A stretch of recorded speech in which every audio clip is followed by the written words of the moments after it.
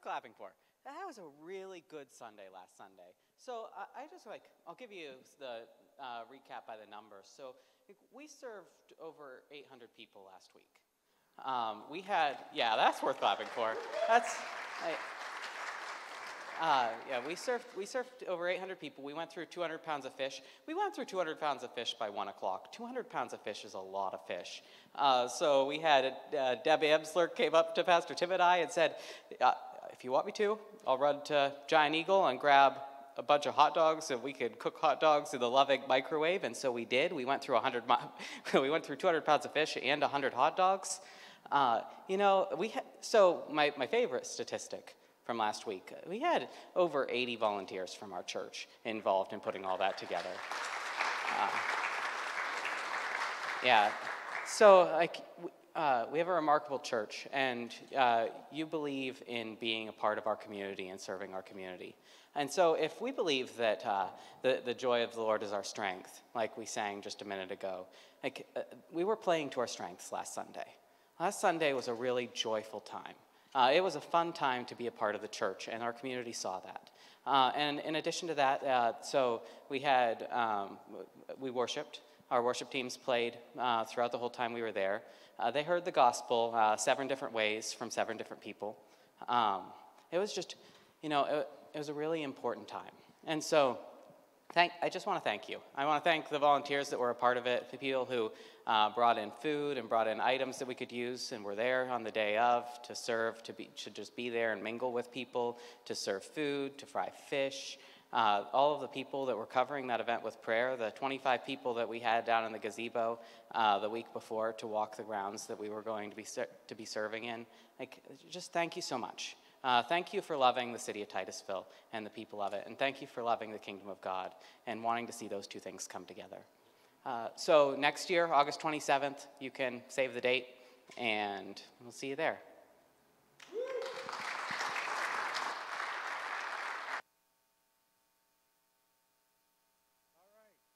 Uh, ooh, sorry. How are we doing now? Maybe we're good. Okay. All right. Uh, hey, I want to uh, publicly, that still sounds really loud. Is it loud to all of you or just to me? It's loud. Okay. Um, so I want to publicly uh, thank Tyler Brown, who, uh, it's a lot of hard work, a lot, a lot, a lot of hard work on, uh, on the parts of many people, uh, both before, during, and after the fish fry. People were working hard. Uh, but Tyler's the one that needed to make sure it was happening and to make sure it was going. So uh, I really want to thank Tyler. Uh, did a great job. Uh, give Tyler a good hand, would you?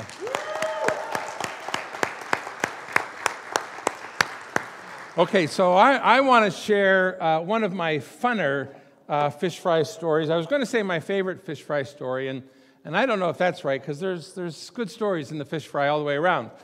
But um, here's my funnest fish fry story. So if you have your bulletin, I want you to go ahead and grab it and open it up and, and look on the, the, the uh, right hand side uh, of, of the inner part. Uh, you see there it says a summer review of 2022. Well, uh, you'll be glad to know we're not going to preach through all of that because we already did. Like, if, if you were uh, hearing about any of that time, you might recognize, oh, yeah, I was there, I was there then. But if you look on the bottom, uh, what it says about prayer, you might think, oh, I wasn't there then. Uh, uh, uh because you weren't. Like nobody was there then. Because we didn't talk about prayer in these five ways on Sunday morning. We have actually been praying this way on Tuesday nights. So we gather here in the sanctuary Tuesday nights from 6 to 7. And it's just time for open prayer. Anybody that wants to pray can come. And uh, it's not a service, it's not scripted, it's not a program of any sort. We just gather here and pray. Well, uh, I was a part of an event that was uh, held by our, our conference that, uh, oh no, that, that's not even right. Uh, the conference sent out some material. And uh, in, in was just talking about ways to pray to see the kingdom of God expand through his church. And it suggested we pray for four things, and, and then we added a fifth. And I actually, uh, so we put this in a, in, a, in a folded program, and uh, we have it available on Tuesday nights when people come in to pray. And uh, I also uh, I, I, did teach through it uh, on a Thursday morning at uh, Southwood. Um, I'm down there once a month, uh, and you know what? I, I, I just want to ask anybody that's willing to pray for us to pray for us. And so I asked them, "Hey, would you pray for us?" And, and these are the things we're praying for. So, one of the things that's on that list, uh, I'm getting back to the fish fry honest. One of the things that's on that list is praying for miracles. To pray to see uh, miracles done in our midst by uh, our, our miracle working God. And a part of that is just uh, coming to this place where uh, praying for a miracle is our, is our default setting. Like when you don't know what else to do, uh, uh, pray. And, and, and, I, can't do, I can't do anything, so I'm going to pray. And, and I'm going to ask God to do something. So here we were at the fish fry, and um, oh, I don't know. Uh, Tyler said uh, 1 o'clock, so it must have been about 12.30. We're only halfway into it. And uh, uh, Tim Drake and Lane Brown come over to me, and it's like, hey, we got a little problem. And uh, so I go over to where they're frying up the fish, and, and Tim points at a bucket. It's 12:30. Tim points at a bucket, and he said, "You see that bucket? That, that's all we got left," uh, and, which represented, I think, 25 pounds or 25 percent. I'm not, I'm not something like that. Uh, out of the 200 pounds of fish that we started with, and uh, he said, "We're, we're going to run out. Um, what should we do?" so I don't know. uh, so, um, like I, I, wasn't even fooling around. I said, you know what? Uh, let's let's just let's let's pray. Uh, let's uh, and I mean let's pray uh, for God to, to multiply the fish. I mean, I mean, like this has happened before, right? Like he, he, he took five loaves and two fish and fed 5,000 men plus women and children, so maybe like 15,000 people. He's done this before. This isn't like, oh, a new challenge for me. You know, it wasn't like that. It was like, we, you, you've been in this place, and God, we want to bless people, and we want to we want to feed people, and, and we're running out of fish. I mean, this is what the disciples said Jesus, we're, we're running out of fish. And you might remember Jesus' words were, uh, uh, you, you feed them. Like, just, just have, have at it. And, uh, and so God, when they started to feed them, uh, Jesus multiplied the fish and bread. So that's what we prayed. And, uh, like, you know what happened? Uh, Deb Amsler said, let's, let's buy some hot dogs. and so we fed them. And uh, so the fish actually uh, did not multiply. Uh, nobody's shocked by that, right? Like, so I want us to get to a place where we end up being shocked by that. Like, what? What? That the, the fish didn't multiply? Um, and you know what? So I want to say this. Like, uh, I, it was fine. Like, I wasn't. I wasn't disappointed, and I didn't start scratching my head and saying, like, God, uh, why? uh, how, how, did we get here? And uh, you, you, ask God, and, and, then you do what you can do, which is what we did. Uh, so we cooked all the fish we had, and we bought hot dogs. And um, as my wife likes to say, uh, they all have homes. Uh, and in most of those homes, there's refrigerators, and in most of the refrigerators, there's food. And so nobody went to bed hungry that night. We sure hope. Um, but some people uh, went to bed without Jesus. And uh, that's what we labor not to see happen. Uh, we don't want people to go home at night and go to sleep at night uh, without Jesus. And so, uh, I, I, however you set that channel in your heart, uh, I want you to do this default setting to praying for miracles. Like I, uh, I, I'm looking at my checkbook right now, and, and I really don't know what to do. Then, then let's pray for a miracle. I'm, I'm looking at, uh, I'm looking at, um,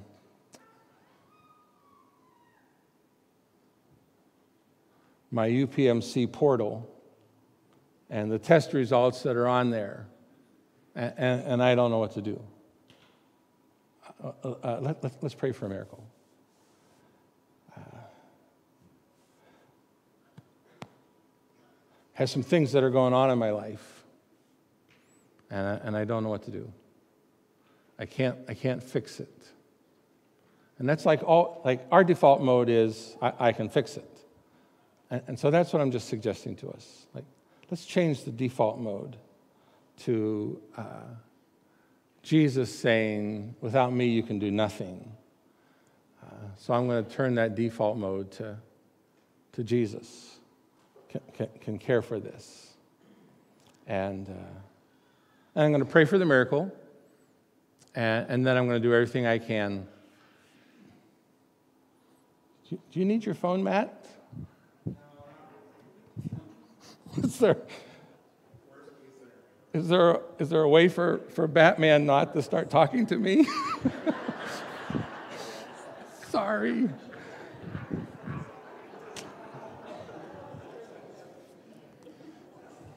Matt's, uh, if you didn't hear that from the platform, Matt's uh, text ring is uh, I'm Batman.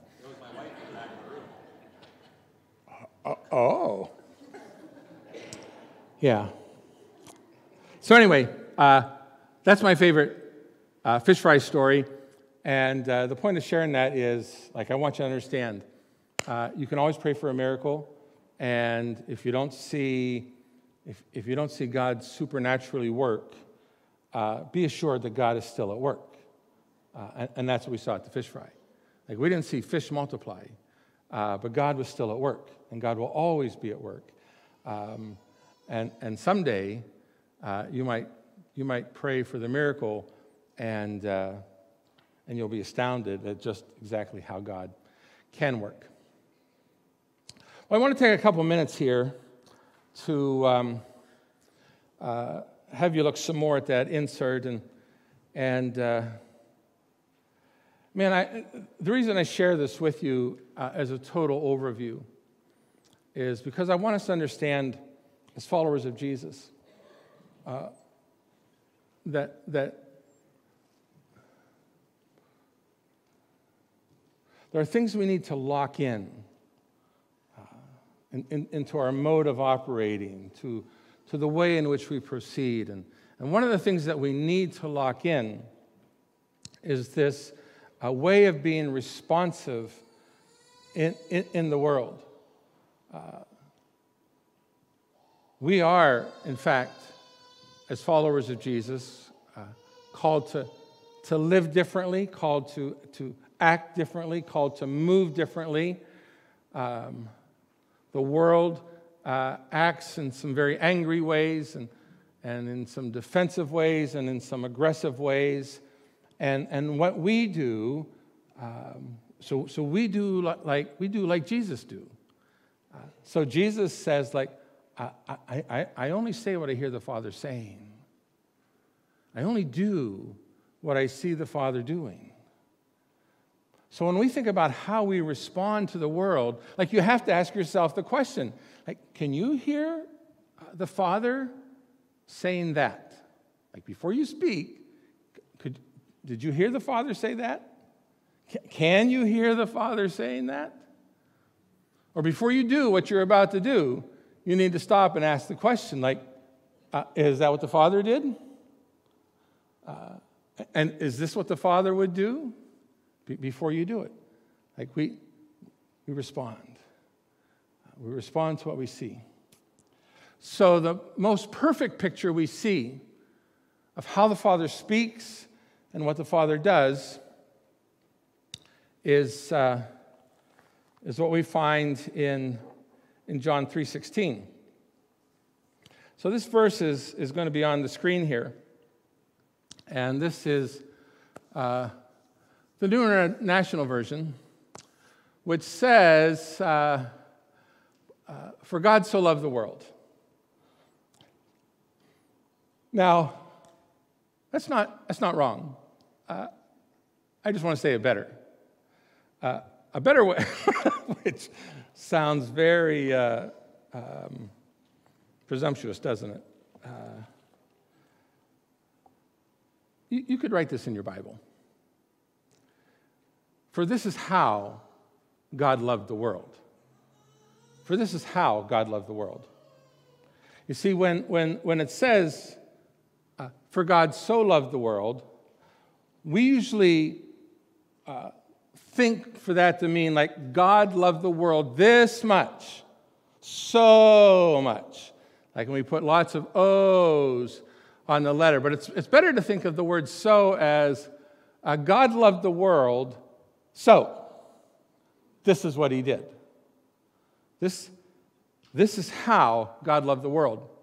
Because, you know, it, it doesn't really. It doesn't really make sense to say God loved the world this much, as if God, well, maybe He only loved the world this much. See, it's impossible for God not to love the world infinitely because we have an infinite God. And, and everything that God does and everything that God feels, He does so infinitely. He can't love just a little. Like, like we always or often have this temptation to, to size up other people and think like God must love them more than he loves me. Like, I know he loves me, but I think he only loves me like this and he loves them like, like this. Some of you, uh, oh, probably not very many at all, but some of you might remember uh, Tommy and Dickie Smothers. And Tommy Smothers always, thanks, Tim. Tommy Smothers always saying, Mom always loved you best. Uh, and we think God loves best. Well, God does love best, but He loves everybody best. He loves everybody best.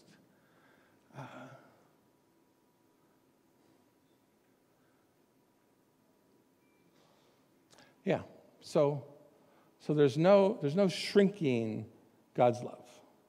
My mother-in-law one time, uh, well, she didn't say it to me, but uh, she said it uh, to um, to her daughter, and it's probably the greatest thing I learned so far from my mother-in-law when um, when uh, her daughter was uh, speculating that, that maybe she had missed out on God's best.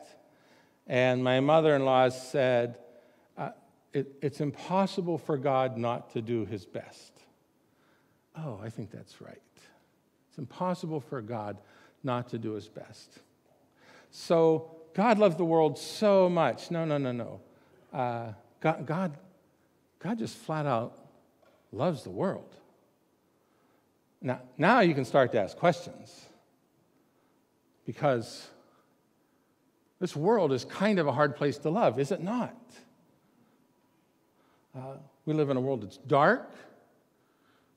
We live in a world where there is uh, a lot of anti God things taking place. We, we live in a world that um, uh, is being uh, even destroyed by, by things that would tear apart at creation, uh, things that work against uh, the intended design of God. And that's true in our, in our lives as well. That, that, that by definition, the world is the macrocosm and our lives are the microcosm. And, and if we look at everything that's going on wrong in the world, I, I don't have to look any further than me because I'm, I'm part of what's going on wrong in the world. Like maybe my, maybe my life is, is, is broken. Maybe my life is hurting. Maybe I see the darkness in my own self, the shadow side of me. I can, I can see that. I can see that, that some of the things I would condemn in the world uh, lie latent in me. Like it's, it's, it's in there. I was shocked one time when I read that passage where Jesus said, uh, to the disciples, uh, he was talking with the Pharisees about what's clean and what's not clean, and, and like how the Pharisees always emphasized the, the outer part, like cleaning up the outer part. And Jesus said, It's not, it's not what you put in uh, that makes a man unclean, it's, it's what comes out of a man, it's what's already in there. And, and he talked about hatred and sexual immorality and, and jealousy and envy and slander uh, and greed. Uh, and, and, that these were the things inside of us. And when I, I, I read that once, and it's like, oh, those things don't get inside of me from the outside. Like they're just in there. And somehow or other, what we try to do outside of Christ is we try to manage that. And we try to squash that and we try to keep those things inside of us. But, but it's easy for me to look at the things in the world that I would condemn and, and recognize oh, that, that, that could have been me. Like the trajectory of my life could, could have gone that way. I'm not, I, every time we see somebody commit some kind of great atrocity, we see their neighbors get interviewed and saying, I just, it, I never could have guessed that it was in that person. Well, guess what it was? It, it, it was in there. And, and, and, it's in the world. The, we, are reading a book right now as a staff by uh, a pastor in Queens, New York, uh, named Rich Villodas. And the book's called uh, Good and Kind and Beautiful, or something those three words mixed together. And, and at the beginning, uh, he asked the question that was first asked by a poet, like, like what, if, what would happen if you, if you cut the world in half and, and you could see the worms? Uh, and what were the worms that, that were eating away at the inside of the world? Tyler smartly pointed out that it's, it's not just seeing the worms, it's seeing what they're eating like the, the worms are eating uh, away at the, at the goodness of God's creation and, and, and at the goodness of life. And, and if you cut the world in half, if you cut me in half, uh, you could see what worms were there. And yet, that, that's the world that God loved. That's the world that God loved. This is the world that God, you, you are the world that God loves. And and how did he do it? How did he love this world? He loved this world by sending his only begotten Son, by sending his one and only Son. That this was God's intent. And this, this is the good news that God would, would send in, into the world that he loves a Son who could redeem it a son who could restore it. That's what's on the back of our shirt, helping our neighbors experience the restoring love of Jesus. Everything that's broken in us, everything that's broken in our world, God wants to redeem and He wants to restore because He loves it. And He, he redeems it and He restores it uh, through the only hope that we have and, and that's his son Jesus. And so they, they vir- uh, virtually uh, cut Jesus in half and, and found, oh, there, there's no worms eating from the inside. There's only goodness and kindness and beauty that flows out of him. And so God sent his one and only Son. Uh, as you heard on the platform uh, through some of the people that already spoke up here, he sent his one and only Son, uh, who is the rightful king of this world. And he's here to, to take back what belongs to him. That's the good news of the kingdom. When Jesus came and he preached, he said, Repent and believe uh, the good news the kingdom of God is at hand. Like, I'm ready to take back this world, I'm ready to restore this world. And, and, and he does it through his life, and he does it through his death, and he does it through his resurrection, and he does it through his ascension, so that everyone who, who believes him. Now, I'm not trying to correct the translation here. Oh, we lost it anyway. Uh, so it does say, whoever believes in him. Yeah. Uh, but believing in him starts with just believing him. Like, do you, do you actually believe what Jesus said? And then do you, do you believe who he is? And you believe in what he is coming to do? This is what it is to believe in Jesus. To believe in what he is coming to do, which, uh, uh, in, in, the words of uh, uh N.T. Wright, who is the author of the small group book uh, this fall, uh, he has come to put the world to rights. Yes, that is it. If you say there's so much wrong with the world and, and, and, and we're at a loss to know what to do, uh, Jesus comes to put the world to rights. Do you believe in what he's doing? He comes to put you uh, right side up. He comes to put the world right side up. And, and that's what the kingdom is. And the kingdom's not here in all its fullness, but there's pockets of the kingdom. Like when you believe in Christ and his spirit indwells in you, you become a pocket of the kingdom. And where, where, where believers gather together and where they worship together and when they act together, I'm telling you, what you witnessed last Sunday in Scheide Park wasn't God taking over Titusville, but it was the kingdom of God present in a community park. There it was. It's God working to put things that are wrong right. When, when, we, when we give our lives to Christ, there's this, this aspect to our salvation that is surrendering to his kingdom, which is to say, I'm aligning myself with what you are doing in me and in this world. And when, and when that happens,